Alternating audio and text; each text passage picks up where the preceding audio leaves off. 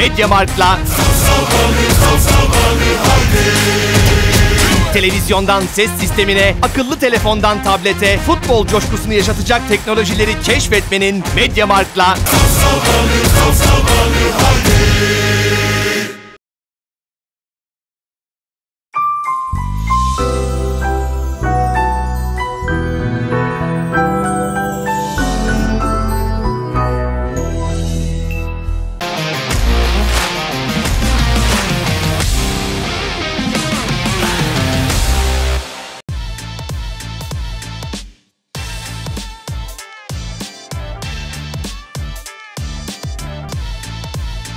Asmalı Pera'nın yeni bölümünden herkese merhabalar. Biraz sesim kısık bir açılış yapacağım bugün. Çünkü derbi galibiyetini doyasıya kutladık diye düşünüyorum. Hikmet abi hoş geldin. Hoş bulduk. Abi Senin sesini duyduk zaten şeyde. Ee? Ben televizyondan izledim maçı. Bayağı bildiğin duyduk yani. yani çok normal abi. Çünkü Fenerbahçe taraftarları ilk golden sonra tamamen sessizliğe büründüler. Ee, Galatasaray aslında sanki Rams Park'ta oynuyormuşçasına e, bir maç çıkarttı Kadıköy'de. Ee, tabii ki de maçın e, kilit noktalarını konuşacağız. Maçın önemli noktalarını konuşacağız. Ama Galatasaray sence derbi öncesi bu maça nasıl hazırlandı? Galatasaray bence maça doğru şekilde hazırlandı en başta. Mourinho'nun 6 haftadır Galatasaray kartlar ekseninde kurduğu oyuna bu tuzağa düşmedi Okan Hoca ve Galatasaray yönetimi. Ee, sanırım buradan da çok ciddi bir ders çıkarmıştır Mourinho. Yani burada sadece söylemlerle, sadece gündem belirlemeyle, e, okları bir noktaya yöneltmeyle vesaire maç kazanılmıyor burada. Olayın psikolojik boyutu önemli. Akıl oyunları önemli. Fakat akıl oyunları dediğin hikaye sadece ortaya bir argüman atıp arkasını boş bırakmak değil. Galatasaray maça öncelikle şöyle hazırlanmış. Fenerbahçe'nin zaafları nedir? Ben bunları hangi oyuncularla nasıl işleyebilirim? Birinci golü bulduktan sonra Fenerbahçe hangi şekle evrilir ve ben buna nasıl yanıt verebilirim? Bence eee, herhangi bir maça hazırlanır gibi biraz daha ciddiyetle, biraz daha Fenerbahçe'nin zaaflarına odaklanıp çalışarak çok rahat bir hafta geçirmiş Galatasaray. Ve bana göre ciddi ciddi kendisini çok fazla hırpalamadan eee, çok rahat bir derbi galibiyeti kazandı. Ama Galatasaray'ın tutunduğu eee, dallardan bir tanesi de Fenerbahçe'nin aşırı derecede kırılganlığı. Galatasaray şunu net olarak biliyor. Ben Fenerbahçe'ye bir gol atarsam, Fenerbahçe topla ne kadar oynuyorsa oynasın, önemli değil. Ne kadar pozisyon buluyorsa bulsun, önemli değil. Tribünle takım arasında mutlaka çok kısa bir zaman dilimi içerisinde uçurum oluşacak. Ya bu çok net bir şekilde ortaya kondu. 55 bin kişinin izlediği bir derbide Galatasaray tribünün marşlarını dinledi bütün derbi izleyen Türkiye. Maçın akabinde Fenerbahçe'nin kanaat önderleri mi demek lazım? Ön tarafta işte mikrofon elinde konuşan taraf ya da mikrofon yakasında konuşan taraflara baktığımızda çok ciddi anlamda yönetim eleştirisi yapanlar da gördüm. Taraftar suçlayan da gördüm. Şimdi bir derbiyi değerlendirirken tek taraflı bakmamak lazım. Galatasaray tarafı Fenerbahçe derbisi oynandı. Bitti buradan 3 puan kazanıldı. Şimdiki hedefimiz PAOK diyerek orada kaldığı yerden yoluna devam ediyor. Fenerbahçe'nin bir sonraki hafta kiminle oynayacağını Fenerbahçe taraftarına sorsan gündemden kaynaklı olarak akıllarında değil. O kadar saplanıp kaldılar derbiye. Taraftarı suçlu bulanlar da enteresan. Ee, bu takım işte 11 yılda 18 tane teknik direktör değiştirdi. Taraftar sürekli teknik direktörlere negatif basıp onları yiyor falan gibi bir suçlama var. Taraftar her seferinde aynı yükselmiş özgüvenle, her seferinde aynı yükselmiş beklentilerle, her seferinde yeniden tazelenmiş umutlarla maçlara gidiyor. E, hayal kırıklığına uğradıkları zaman sessizliğe bürünmeleri çok anormal de değil. Çünkü bu hayal kırıklığına uğrama durumu kanıksanmış bir durum artık şu anda. Fenerbahçe'nin bence geride kalan 6 sene içerisinde en az eleştirilmesi gereken dönem bu dönem yönetsel açıdan. De Tabii. Yani yönetimi eleştirebilirsin. İşte Medina ne işine yaradı şimdi Ocak'ta gelecek. Bak hedef maçları burada kaybediyorsun diyebilirsin. Bu bir eleştiridir. Fakat yönetimden önce eleştirilmesi gereken bir teknik heyet var. Bu mesele sadece Galatasaray daha fazla kart görüyor. İşte Galatasaray kollanıyor. Hakemler onlara farklı muamele uyguluyor falan diyerek yürütülebilecek bir süreç değil. Bak kendi evinde slalom yaparak ceza sahanın içinde elini kolunu sallaya sallaya gol attılar. Tadic'in sağ bek oynadığı bir maç gördü Fenerbahçe taraftarı. Şöyle abi Fenerbahçe'nin oyuncularını pozisyonun dışına çıkarken çok fazla gördük. E, Fred'in bazen 6 numara, bazen 8 numara, hatta bazen forvette gol arayan isim olduğunu bile gördük maç içerisinde. O yüzden bence e, Fenerbahçe oyunu Galatasaray'a göre e, daha hafife almış gibi. Zaten Mourinho'nun açıklamalarından da çok bariz belliydi abi. Çünkü Kasımpaşa maçının ardından şey demişti hatırlarsan. İşte ben Galatasaray'ın bu haftaki maçını yatarak seyrettim. E, gerçekten de herhalde bir hafta boyunca Mourinho ve teknik heyeti Galatasaray'a yatarak hazırlanmış. Ya çünkü bu oyunun e, başka türlü bir açıklaması ve izahı yok. Çünkü hepimiz Fenerbahçe'den Galatasaray'a göre daha iyi bir oyun oynamasını bekliyorduk diye düşünüyorum tüm Türkiye olarak. E, Galatasaray bunların hepsini e, sil baştan sıfırdan yazdı diye düşünüyorum. Şimdi Oğulcan Akçay ile birlikte maç önü çekmiştik. Ee, ben orada Galatasaray'ı daha önde gördüğümü söylemiştim. Bir 11 çıkarmıştım ben kafama göre. Fenerbahçe'nin zaaflarını işleyebilecek. Burada teknik heyetin yaptığı en büyük artı benim Şalay'ın yapmasını beklediğim şeyleri Yunus'a yaptırdı. Osimen'i duvar olarak kullanmak ekstra bir beceridir. Barış Alper'in forveti ikileyeceğini zaten burada konuşmuştuk. Ben Galatasaray'ı önde görüyordum mesela Fenerbahçe e, derbisinde. Ama Türkiye'nin geneline baktığımızda Fenerbahçeliler işte kaç atacağız acaba falan gibi bir özgüvenle geliyordu. Ben de aslında konuşmamda onu söylemek istemiştim. Yani ben de zaten geçen hafta da söylemiştik. Ben maçın daha çok beraberliğe yakın olduğunu, sen de Galatasaray'ın kazanmaya yakın olduğunu söylemiştin. Ee, o yüzden yani söz meclisten dışarı ama tüm Türkiye genelinde böyle bir algı vardı aslında. Şimdi ben e, bulunduğum kanalda Galatasaray maç önlerini çektiğim için Fenerbahçe ile alakalı fikirlerimizi sadece işte Twitter'da yazıyoruz ya da arada bir denk gelen Fenerbahçe maç önleri olursa oralarda ifade ediyoruz. Fenerbahçe ile alakalı sezon başından beri söylediğim olay Fenerbahçe'nin merkez üçlüsünü efektif, güçlü bir şekilde kullanabilmesi arka hattını öne yaklaştırmaya, ön hattını da merkezle entegre etmeye bağlı. Bu bir taraftan pozitif yazarken bunu yapamadığı maçlarda birden hayalete dönüştürebilir. Tabii bu şekilde izah etmedim ama çünkü bazı kelimeleri seçerek konuşmak durumunda kalıyorsun. İşte e, sen taraf olarak görüldüğün için senin söylediklerin de algı yaratma maksatlı söylenen şeylermiş gibi oluyor. Geçen seneki söylemlerimizden de çok hakaret işittik, küfür yedik falan ama netice itibariyle sezon sonundaki duruma baktığında arkasında onlarca sakatlık bırakmış, onlarca maç kaçırmış oyuncular, kırılma anlarında kırılmış bir takım ve sıfırdan maç çözmesi gerektiği noktada maç çözemeyen bir takım olgusu vardı. Öbür tarafta sürekli duran toplarla, bireysel kabiliyetlerle bir şekilde ligi sonuna kadar götüren bir takım vardı. Çalıştı mı çalıştı. Her sene çalışır mı çalışmayabilir. Ama elinde yine de bunu artı olarak tutuyor olman bir avantajdır. Fenerbahçe'nin Galatasaray derbisinde e, yapmak isteyip de yapamadığı ne vardı mesela? Ben yapmak istediği bir şey görmedim. Ben de görmedim. Şimdi Galatasaray Yunus'u merkeze yaklaştırdı. Fenerbahçe merkezini deldi geçti. Yunus her pozisyonda toplu topsuz koşularla merkezi paramparça etti. İkincisi Barış Alper iç koridora yerleşti. Kaan Ayhan'ı çizgiye bastırdığı her pozisyonda merkezde artı iki oldu Galatasaray. Fenerbahçe merkezi şöyle güçlü böyle güçlü diye anlatılıyordu ya. Galatasaray sayısal çoğunluğu Yunus, Barış Alper'in bireysel e, rolleriyle, Osimen'in gelip duvar oluşuyla 6'ya 3'e dönüştürdü. Şimdi buradan nasıl çıkabilirsin? Buradan çıkmanın yolu basit. Ön hattı biraz arkaya yaklaştırıp oyun kurulumunda ikili üçlü varyasyonlar kurgulaman lazım. Fenerbahçe'nin 4 tane üst üste olumlu ve progresif pas attığını gördün mü maç boyunca? Yok. Yok. Görmedim. Şimdi Fenerbahçe tarafı diyor ki ilk 10-15 dakika e, Fenerbahçe çok iyi oynadı. Değil. İlk 10-15 dakika Galatasaray maçın geri kalanında denemediği bir şey denemişti. Uzun topu at, ikinci topları al. Uzun topların hepsini attı. Fenerbahçe uzun topları karşıladı. ikinci topları alamadı. İkinci topları yine Galatasaray aldı. Niye? Merkezdeki kalabalıktan dolayı.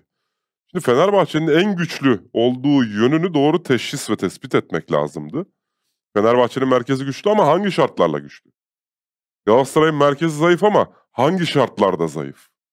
Galatasaray kenarlardan merkeze destek aldığı hiçbir konuda merkezde zayıf kalmıyor. Ama her maçta sürekli kanat oyuncularını merkeze davet etmek Galatasaray'ın oyun akışkanlığına sekte vurur mu? Evet. Oyuncu değişikliği yapman gerektiği noktada kadro derinliği konusunda problem var mı? Var. Her maça %100 teknik direktörün konsantrasyonu, her maça özel hazırlanışı ve herkesin bireysel olarak %100'ünü sahaya koymaya ihtiyacı var Galatasaray'ın şu anda mevcut yapı itibariyle. Fenerbahçe tarafına bakıyorsun kadro derinliği var. Evet Medina Ocak'ta geliyor olması ciddi bir problem olabilir. Merkezde ona ihtiyaç duyabilirsin ama Fenerbahçe şu ana kadar hiç ihtiyaç duymadı. Fred sağlıklı. Şimanski de sağlıklı. İsmail'de bir problem yok. E, Amrabat var. Amrabat geldi üstüne. Dört tane şu anda sağlıklı tercih yapabileceğin oyuncu var. Medina beşinci olacak bak bu arada. Yani burada senin bu merkezi parçalanmayacak bir şekilde kompakt tutuyor olman lazım. Mourinho'nun en iyi yaptığı işlerden bir tanesiydi bu oyunu tutmak doğru mu? Ya sana şurada bir e, katkıda bulunacağım. Biz geçen hafta şey konuşuyorduk. Mourinho'nun maç içerisinde aslında taktiksel olarak e, oyunu zamanlara bölerek e, farklı farklı oyunlar, farklı oyun varyasyonlarını bize seyrettirdiğini görüyorduk. Aslında Mourinho'yu Okan Buruk kendi silahıyla vurmuş diyebiliriz. Çünkü ilk 15 dakika farklı bir oyun vardı maçta. E, sonraki işte 15 dakikalık sekanslarda çok farklı oyun vardı Galatasaray adına. E, bence zaten maçın kilidi de e, burada diyebilirim. İlk 15 dakika yine Galatasaray bize uzun vurarak, ikinci topları alarak aslında pozisyon üreten bir e, takım olma görüntüsündeydi ama e, bunun işlemediğini görünce Okan Hoca hemen değişik bir varyasyonu planına, değişik bir varyasyonu aslında öne sürdü ve Yunus Akgün'ün daha fazla aslında merkeze gelerek e, o 8 ve 6'nın yarattığı boşluklara girerek oradan pozisyon üretmeyi denedi ve bunda da Galatasaray başarılı oldu diye düşünüyorum. E, maçın zaten ikinci yarısı da aslında penaltı olan kısma kadar da e, Galatasaray daha böyle temkinli ve e, geçişleri düşünen bir takım konumundaydı. Ondan sonrasında zaten o penaltı kararından sonra birazcık oyun aslında e, değişti diyebilirim tamamen. E, Galatasaray birazcık da aslında e, demotive oldu saha içerisinde ama bunu da çok hissettirmedi diye düşünüyorum oyunda izleyenlere. Şimdi Galatasaray'ın oyun kurulum şemalarıyla alakalı çok eleştiri yaptık. Şimdi Allah var. Doğruyu söyleyelim. Fenerbahçe'ye karşı Galatasaray eksi bir, eksi iki oyuncuyla ön alan baskısını o kadar rahat kırdı ki. Davinson'u sağa açtı, Abdülkerim'i sola açtı. Muslera geldi merkezlerine yerleşti. Torreira'nın geriden gelip top almasına gerek kalmadı. Gabriel Sara'nın bölgesini terk edip geriden savunmaya top almaya gitmesine gerek kalmadı. Bak o kadar fazla fotoğraf var ki. Programdan sonra sana göndereceğim onları. Eğer kullanılabilir pozisyondaysa programa ekleriz. Fenerbahçe'nin 4 kişiyle 5 kişiyle ön alanda baskı yaptığı ve Galatasaray'ın 3 oyuncuyla birisi Mustara. O baskıdan çıktığı o kadar fazla sekans var ki. Bütün fotoğrafları koysak program 2,5 saat olur. Ya şöyle bir yerde bana şey hatırlattı. Bu Hürzeler'in San Paulo'da oynattığı ve Brighton'da oynattığı oyunu aslında ben gördüm. Muslera'nın çok fazla oyun kurulumunda e, katkısının olduğunu gördük. E, zaten San Paulo ve Brighton'da da e, Hürzeler bunun deniyor aslında. Kalecilerle oyun kurup e, orta saha oyuncularını çok fazla geriye getirmeyerek daha fazla hücumu düşünmelerine e, katkıda bulunmak istiyor. E, Okan Hoca da bence Fenerbahçe maçında bu taktiği denedi diye düşünüyorum yer yer. Bak birçok pozisyon var. Ceko, Şimanski, Fred önde üçlü olarak basıyorlar. Max hemen arkadan takip ediyor. Tadic geri çekiliyor, Mert Müldür öne fırlıyor. 5 tane oyuncu var kadrajın içerisinde. Fenerbahçe'den Galatasaray'da 3. Ve bu baskı sekansı şu şekilde yaşanıyor. Muslera kendi ceza yayının üstünde, bak rakip 5 kişiyle e, baskı uygulamaya çalışırken Muslera kalesini bırakmış ceza yayının üstünde. Abdülkerim sol bek pozisyonunda, Davinson Sanchez sağ bek pozisyonunda. O kadar dengesiz ve plansız bir ön alan baskısı yaptı ki Fenerbahçe. Galatasaray gayet e, leblebi çekirdek misali tık tık tık 3 pasta çıktı oradan. Progresif pas atmasına gerek kalmadı Galatasaray'ın çünkü 3 tane pas yaptı Galatasaray. Hatta golden önceki pozisyonda sanıyorum 5 ya da 6 pas vardı. İkinci gol. İkinci gol zaten spor, spor akademilerinde ders olarak okutulması gereken bir gol. Savunma tarafı özellikle. Sağ açık ve sağ bek aynı oyuncuya hurra yapıp koşturuyorlar. Çağlar diğer stoperle arasındaki mesafeyi korumaya çalışıyor.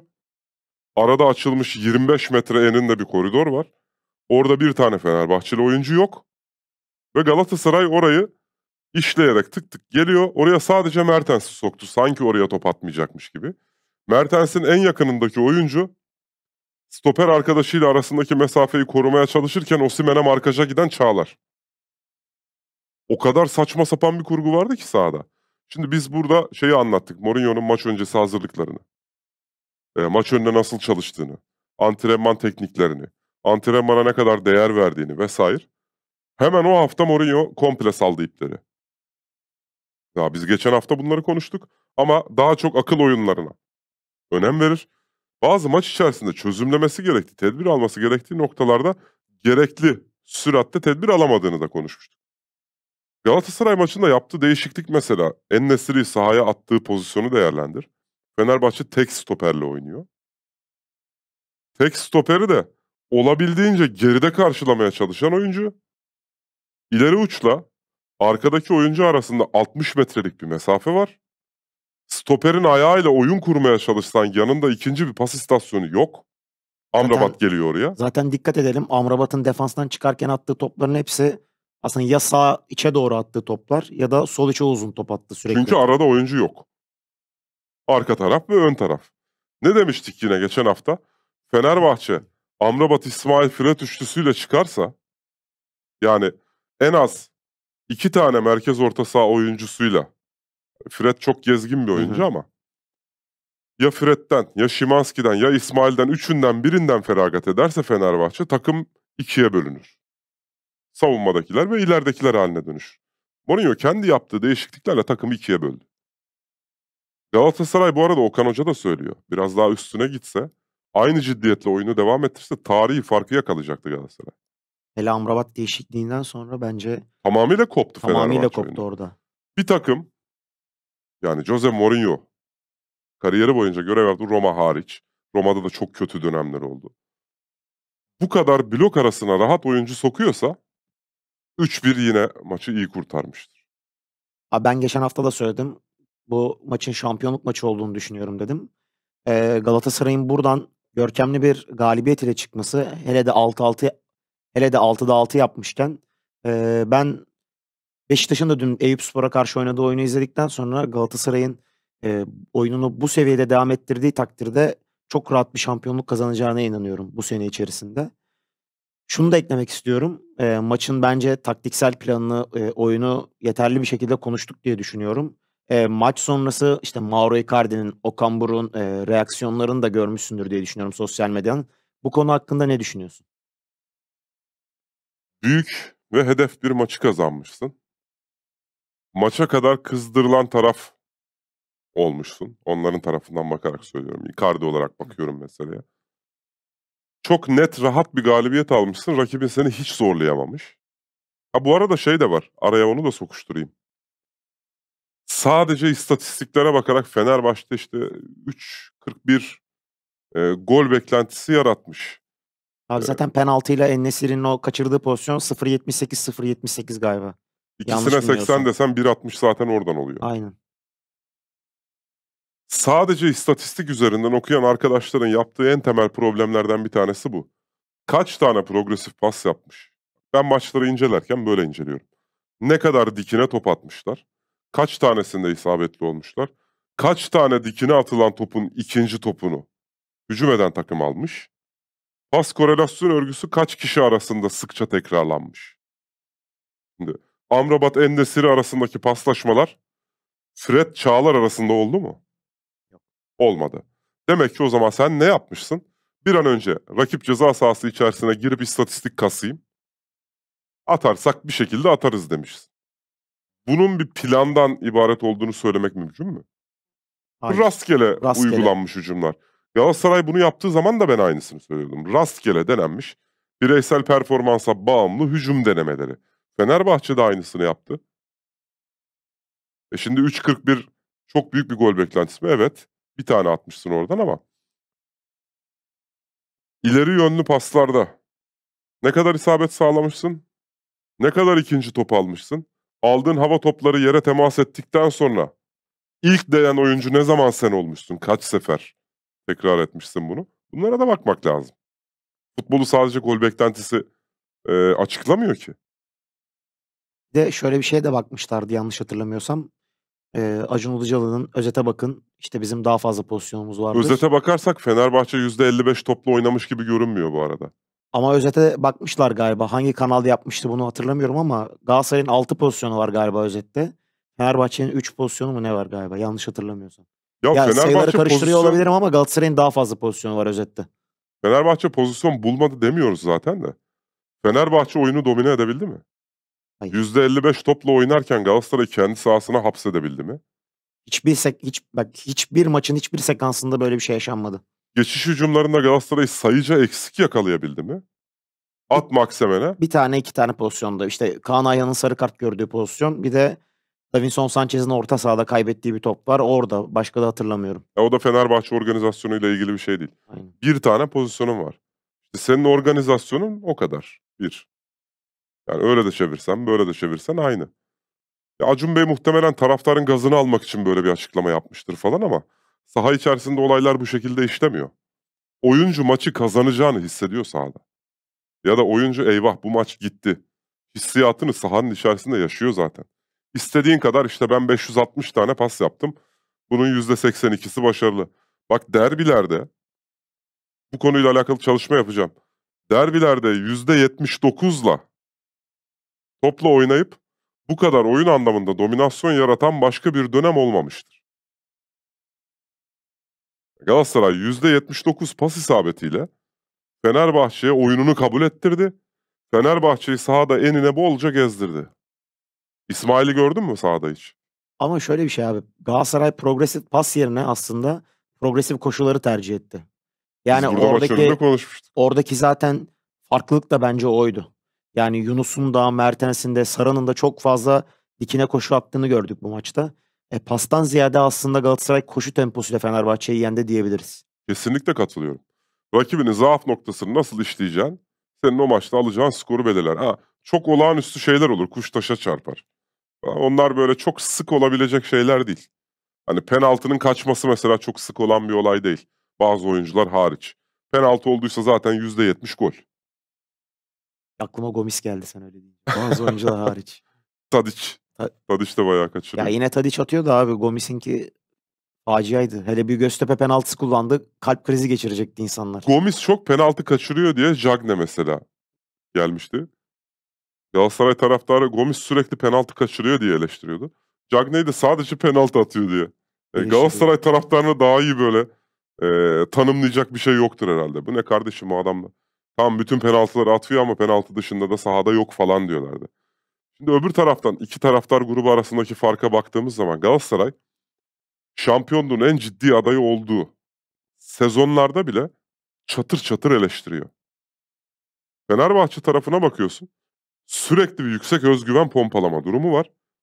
Hep yüksekten düşüyor Fenerbahçe taraftarı. Şey var ya zaten bir tane fotoğraf. Fenerbahçeliler Eylül-Ekim ayında şampiyonuz. Temmuz'da transfer şampiyonuyuz. İşte Mart ayları geldiğinde işte bahar ayları geldiğinde Fenerbahçe taraftarları ortadan kayboluyor. Kadro mühendisliği Galatasaray'ın bu kadar problemli şekilde yapıldığı bir sezonda alınan bir galibiyet bu arada bu. Fenerbahçe'de 3 aşağı 5 yukarı herkesin yedeği var. Onu çıkartıp öbürünü koyduğunda kadroda çok büyük değişiklik olmuyor. Galatasaray'a bakalım. Jakobs'un yedeği kim? Berkan. Abdülkerim'in yedeği kim? Berkan. Torreira'nın yedeği kim? Berkan. Sara'nın yedeği kim? Gene Berkan. Kerem Demirbay var. Denkleme dahil edebileceğin. Mesela Barış'ın yedeği kim? Yani yok yani Barış. Sağ kanatta oynayacak. Ziye var Şalay, da Yunus kendi arasında bir forma rekabetine girecekler. Hem sağ hem sol için. Ziye Çalay var hem sağın hem solun alternatifi. Aynen. Barış Alper hem sağın hem solun alternatifi. Yunus hem sağın hem solun alternatifi. Yani ben Galatasaray'ın geniş kadrosunu eleştirmiştim mesela. Transferin son günü bir canlı yayın yapmıştık burada.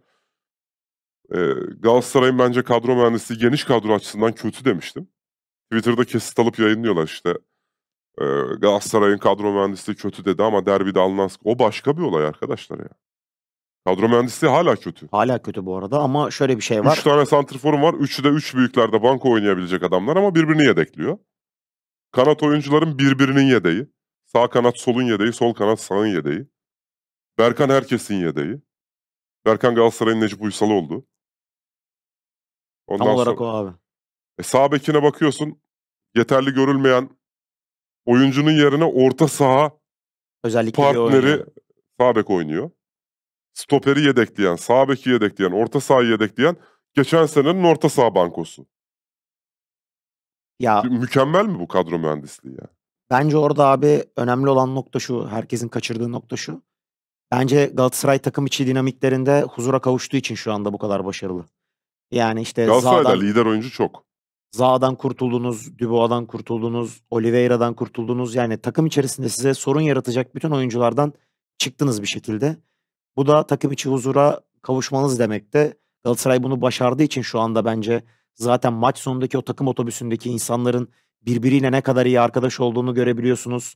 Ee, takım saha içerisinde birbiri için her şeyi yapıyor. Bütün emeğini ortaya koyuyor. İşte mesela atıyorum Yunus Akgün geriye gelip Barış Alper geriye gelip aslında seni 12 kişi oynatıyor. İşte bu artı birleri bu artı birliği sağlayabildiğin zaman takım oluyorsun. Galatasaray şu anda bunu başarmış durumda bence. Yoksa kadro mühendisi bence hala sıkıntı. Mesela 9 milyon euro verip aldığınız Yeler mesela derbiye şu anda çıkamadı. Hala hazır değil. Mesela Gabriel Sara evet 20 milyon verdiniz ama çok iyi bir oyun ortaya koyuyor. Hala mesela tam olarak bonservisinin karşılığı bu muydu sorusunun cevabı hala bence karşılanmış değil. Doğru yerde oynatabilmeni sağlayacak bir kadro derinliği yok.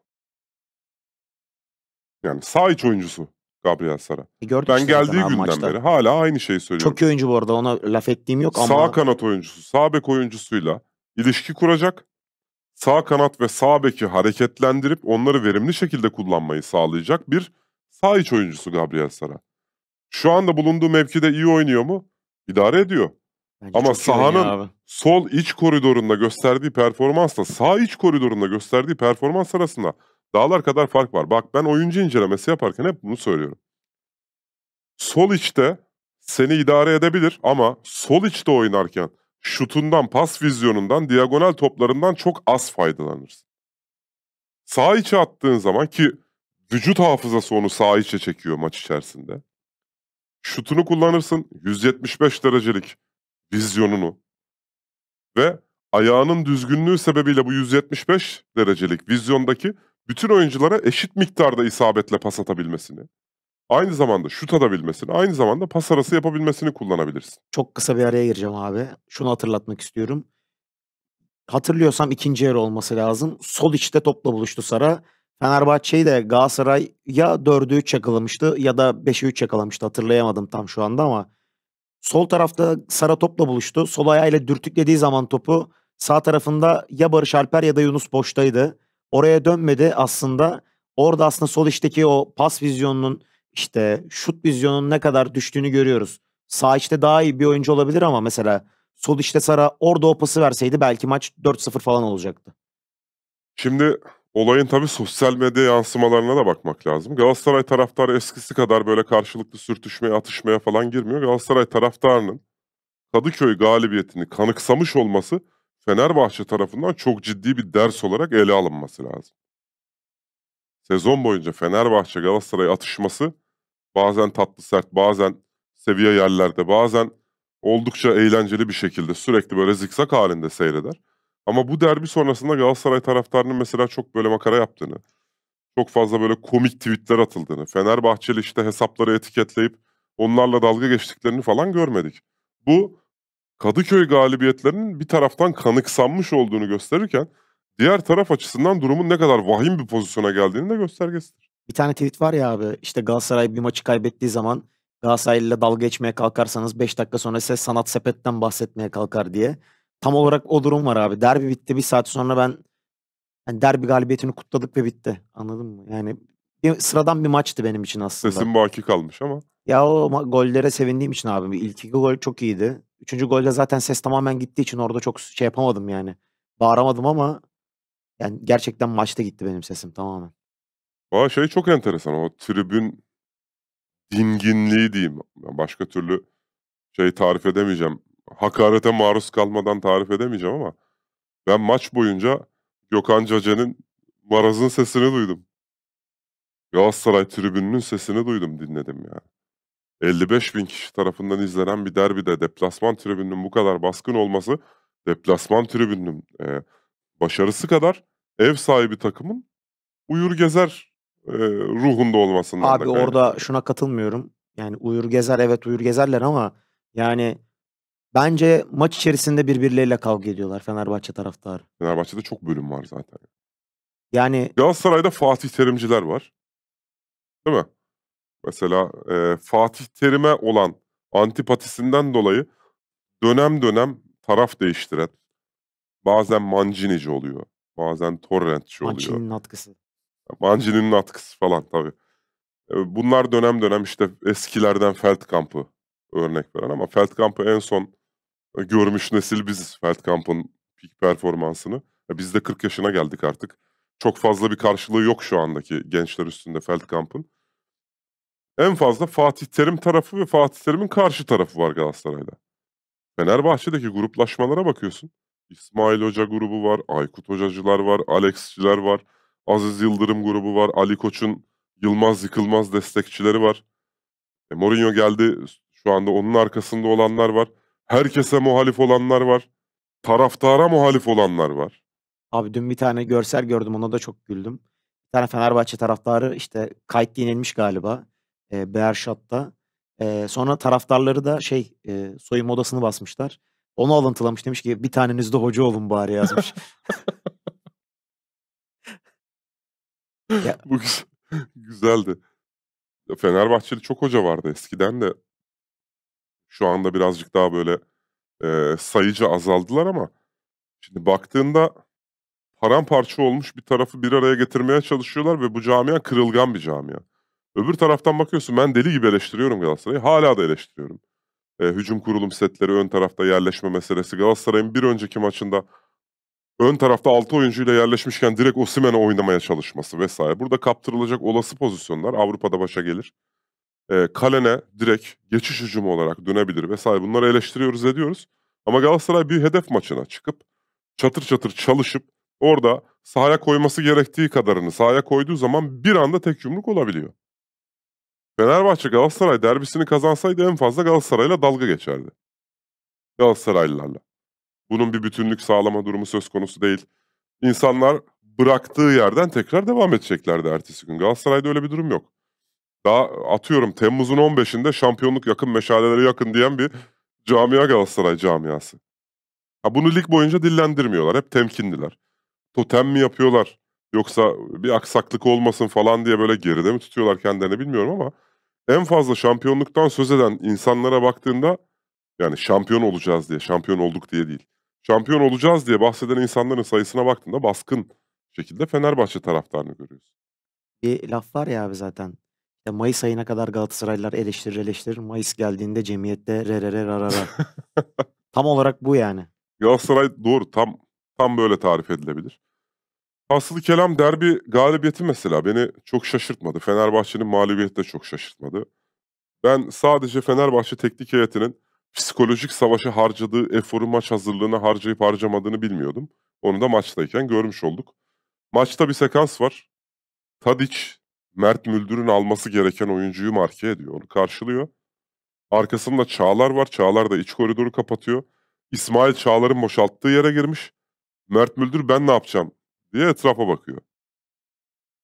Merkezi savunma görevi Mert Müldür'e kalmış pozisyonda. Bence Fenerbahçe'nin maç stratejisini tam olarak anlatan pozisyon bu. Bence de abi katılıyorum. Eee, şunu da eklemek istiyorum yani programın sonuna yaklaşmadan önce Galatasaray PAOK maçında kazanırsa Avrupa'ya da e, keskin bir galibiyetle başlarsa ben Galatasaray'ın e, durdurulabileceğine inanmıyorum. Çünkü şu anda oyuncularla kenetlenmiş bir Okan Hoca'yı da görüyorum. E, Okan Hoca'yı sezon başında acaba oyuncular sırt çevirir mi vesaire diyorduk ama şu an tüm oyuncular Okan Hoca'yla kenetlenmiş durumdalar ve e, Okan Hoca da e, kafasını artık sahaya vermiş gibi duruyor. Gözükür de o bence bu taktik planlamasından işte Bunun dışında bir tercih olamaz zaten Okan Hoca'nın. Yani. Şu kadro mühendisliğiyle %100 performans göstermek zorunda Okan Hoca. ya şunu da eklemek istiyorum abi. Icardi'nin de mesela bu derbi özelinde Arjantin'den kalkıp Türkiye'ye gelmesi bence çok kıymetli bir olaydı. Çünkü e, hem bu takımın ruhani lideri gibi bir şey abi Icardi ve e, oyuncularla birlikte Kadıköy'e gelip onları desteklemesi aslında onlara bir başlarında bir lider oyuncu olduğunu göstermesi takım adına çok önemliydi. E, buradan ben Icardi'ye de teşekkürlerimi sunuyorum. Ga bu kadar, eee, Galatasaraylı olabilmek 3 senenin sonunda, eee, bana çok hâlâ ilginç geliyor ve tüylerim de diken diken oluyor yani düşündükçe. Galatasaray yabancı oyunculara bu aidiyeti çok kolay kazandırabiliyor ama. Eee, genelde Galatasaray yerli iskeletinin çok sağlam olduğu sezonlarda vura vura gitmiştir ama son yıllara baktığımızda yabancı kalitesi ve aidiyet düzeyi bu ligde çok belirleyici olmaya başladı. Şimdi bütün takımları önümüze koyduğumuz zaman en fazla aidiyet sahibi oyuncu sayısının yüksek olduğu takım kimdir diye sorsan muhtemelen Mertens de Mertens çok dillendirilmiyor ama Mertens takımın çimentosu pozisyonunda. Teknik heyeti en fazla eleştiren oyuncu da Mertens bu arada. Şey dedi zaten maç sonunda da, eee, "Ben bu kulübe geldiğimden beri negatif bir şey görmedim. Eee, aksine gelenler, işte, gidenlerin yerini doldurmaya çalışıyor. Gidenler de" işte Kerem Aktürkoğlu'na örnek verdi. Dedi ki, "Kerem Aktürkoğlu şu anda çok huzurlu ve oyun kalitesini bir üst seviyeye taşıdı." gibisinden bir cümle kurdu orada. Aslında Mertens'in de ne kadar Icardi Icardi'yi burada ön plana çıkartıyoruz ama bence, eee, başrollerden biri de Mertens bu takımda. Eee, işte, aşçısından tutun saha içerisindeki çime kadar her şeye karışan ve her şeyle ilgilenen bir oyuncu görünümünde Mertens de. Mertens hâlâ formasını çıkarmamış olan bir sportif direktör gibi. Takım açısından baktığında. E, Galatasaray'da bu kadar aidiyeti yüksek oyuncular olduğu zaman çok fazla kurcalamazsan problem yaşamıyorsun zaten. Yani Osimhen'e ne yapması gerektiğini, eee, futbol anlamında çok fazla anlatamazsın ama bu maçta şunlara daha fazla öncelik verebiliriz dersin ama bu adam zaten yapabileceğinin en iyisini yapacak olan adamlardan bir tanesi. Ona ekstra görevler mesela, eee, Fenerbahçe tarafının Tadiç'e yüklediği Misyon. misyon gibi mesela yaparsan bu oyuncular verimsiz kalacaklar. Tadiç'i en iyi performans verdiği sezonlarında nerede gördük? Sol açıkta. Genelde inisiyatif alabilecek kadar serbestliği yaratılmış, Maximen'e yaratılan serbestli Tadiç'e yaratıldığı zaman Fenerbahçe orada Tadiç'ten verim alabiliyor ama Maximen'den bunu alamıyorsun. Galatasaray'da Osimhen'e serbestliği yaratıyor. Torreira'ya hücum serbestisi yaratıyor. Gabriel Sara'yı gerektiği noktalarda vücut, eee, reflekslerini çektiği noktada serbest bırakabiliyor. E, şimdi bir oyuncuya ne kadar, eee, geniş bir alan bırakırsan inisiyatif kullanma anlamında, oyuncuda bu kabiliyet varsa bunu kullanıyorlar zaten. O yüzden ben, eee, oğlumun eğitiminde ihtiyacım olan bir gölge öğretmenimiz var. Onunla birlikte ilk konuştuğumuzda, ilk görüştüğümüzde şey demiştim. Şimdi bizim hâlihazırda var olan bir sistemimiz var ve biz bunu başarıyla bu noktaya kadar getirdik. Burada çok fazla altyapıya dokunup yeniden yapılandırmamıza gerek olacağını düşünmüyorum. Siz gerektiği noktada müdahale edin. Bu çocuk zaten alıp yürüyor. Şimdi Galatasaray'a baktığımız zaman zaten hâlihazırda var olan bu sistemi yürütebilecek isimler var. Çok kurcalamazsan, alttaki asfaltı söküp yenisini atmaya çalışmazsan bu kadro seni bir noktaya kadar götürecek. Gerektiği noktada müdahale etmeye alışırsan, eee, bence galibiyetin de, başarının da, zaferlerin de keyfini daha rahat sürersin. Katılıyorum abi. Zaten takım dinamiği dediğin şey Jenga oynamak gibi bir şey. Ne çok üstünden çekeceksiniz ne çok altından çekeceksiniz. Doğru noktalarda doğru noktalardan taşları çekip değiştirmeye kalkarsanız zaten başarı da onlarla geliyor. Bir takımın huzuru, huzursuzluğu şuradan belli olur. Ziyech yedek beklediğinde takım sorun yaşıyor mu, yaşamıyor mu? Tadiç yedek kaldığında takımda sorun yaşanıyor mu, yaşanmıyor mu? Gedson Fernandes kadroya giremediğinde bir sorun yaşanıyor mu, yaşanmıyor mu? Huzur derecelendirmesi yapacaksak bu parametreler üzerinden yapabiliriz. Abi ben mesela Batshuayi oynamadı derbide süre bile almadı. Eee, acaba mı diye düşünüyordum hani bir huzursuzluğu olur mu vs. diye.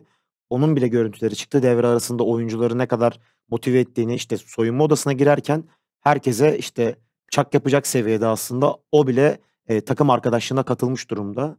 Eee, bence derbi galibiyetinden sonra Galatasaray'ın, eee, iyi yolda olduğunu bize gösteren çok fazla done var. Eee, bunlardan böyle devam ederse Galatasaray, bu şekilde devam ederse bence bu süreci, eee, en kârlı atlatan takım olarak, eee, ön plana çıkacaktır diye düşünüyorum. Eee, sözlerimi bitirmeden önce senin eklemek istediğin bir şey var mı abi? Bireysel performanslarını 10 üzerinden 7'nin altına düşürmeyecek çok sayıda oyuncu var. Bu oyuncular seni bir noktaya, A noktasından B noktasına zaten taşıyacaklar.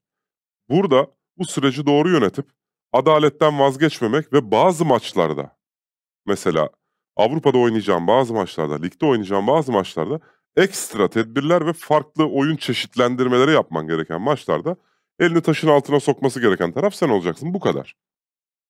Ocak'ta zaten gereken takviyeler yapılacaktır. Kadro daha da zenginleştirilecektir ama Galatasaray'ın işi daha kolay. yeniden bir şey inşa etmeye çalışmazsa daha kolay. Katılıyorum abi. Programı kapatıyorum abi yavaş yavaş. Ee, bizi izleyen izleyicilerimize çok teşekkür ediyoruz. Ee, Asmalı Pera'nın yeni bölümü büyük ihtimalle PAOK maçından sonra olur diye düşünüyorum. Ee, o vakte kadar kendinize iyi bakın. Ee, kanalımıza abone olmayı ve bu videoyu beğenmeyi unutmayın diyerek herkese hoşçakalın diyoruz. Görüşmek üzere.